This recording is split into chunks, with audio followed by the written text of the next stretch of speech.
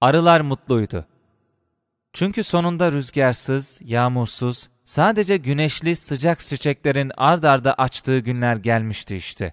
Çiçekli bahçelerin kuytularındaki örümcek ağlarından korkmadan geziyor, o renkten o renge kanat çırpıyorlardı. Herkes arı kadar güçlü değildi elbet. O ağlara takılan daha zayıf kanatlılar için bu yeni başlamış yaz az sonra bitecekti. Hayat kendi devranını sürdürüyordu. Üzerinde yaşamın ilk kıpırtılarının oluşmaya başladığından bu yana kurulmuş, bu dengede insanoğlu nerede yer tutuyor? Bu denge, insanın insan olmasında ne kadar etkili? İnsan bu dengeyi ne kadar bozdu veya pekiştirdi? Hala da süren, iç içe geçmiş ve belli ki kıyamete kadar da geçmeye devam edecek bir sonsuz sarmal bu. Hayat, inançlar, ritüeller, adetler, kurallarla kayıtlı ve insan olmak, insan doğmakla, yaratılmakla değil, inşa edilerek elde edilebilen zor bir süreç.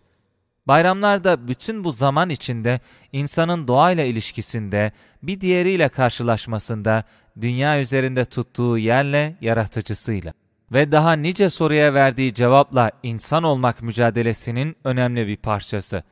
Her bir bayramın kendi inanç ve gerekçesi üzerinden yapılmış, yazılmış, tartışılmış, kararlaştırılmış yeri, önemi, bireysel ve toplumsal kuramsallığı çoktandır oturmuş tarih içinde. Bir günün diğerine benzemediği bir dünyada bayramlar da şüphesiz birbirine benzemiyor, ardı sıra sıralansalar da.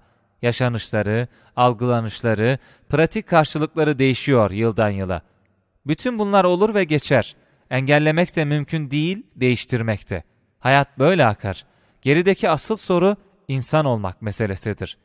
Peygamber döneminde yaşanıp onun övdüğü, ölmekte olan bir köpeğe su vermek için gösterilen çaba, sosyal medyada sabahtan akşama kadar ahlak üzerine binlerce söz paylaşmak veya Yemen'deki çocukları hatırlayıvermek veya bir terör saldırısına rutin mi rutin standart tepkiyi göstermekle kıyaslanamaz. Bu örnekler, bizi bütün olup bitenler içinde sahici olanın, elle tutulur, gözle görülür olanın, somut, fiili olanın değerine taşır. Bir fidanı dikmek, bir yetime gerçekten yardım etmek, başını okşamak, bayram ziyaretinde dedikodudan uzak, gerçek bir sohbete katılmak, yanındakinin hakikatten farkına varmak. Hepsi hayatın kendisinin sahiciliğini idrak etmek için ikram edilmiş ayrıcalıklar. Bayramlarda bunun adı konulmuş sabit günleri işte. Yoksa uzun zaman sonra bir Amerikan başkanı iftar yemeği vermeyebilir. Sınırımızın ötesinde aklımıza gelmeyecek karşı karşıya kalmalar ufukta görünebilir. Memleket bir akıl hastanesiymiş gibi görünebilir Twitter'da. Veya foseptip çukurundan elektrik kaçağı olan havuza kadar kabustan beter ölüm çeşitleri her gün medyada yeniden hayat bulabilir.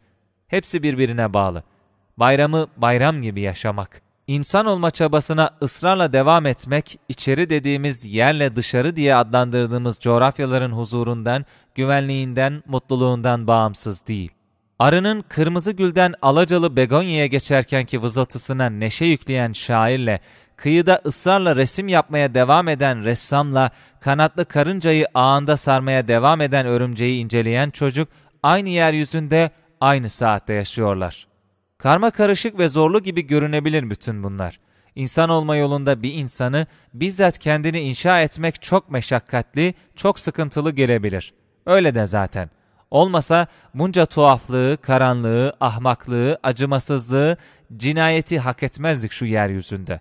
Ama bir yandan da insanoğlu hep iyiye ve güzele, huzurlu, güvenli mutluluk verene meyilli. Hep bunun üzerine, bu yol üzere inşa etmeye çalışmış ne yaptıysa.'' Arada sıkıntılı dönemler, karanlık çağlar olmuş ama geçmiş nihayetinde. Bayramı, insan olma yolundaki o büyük ve uzun inşa sürecinin bir parçası kılabilmemiz dilekleriyle tebrik ediyorum.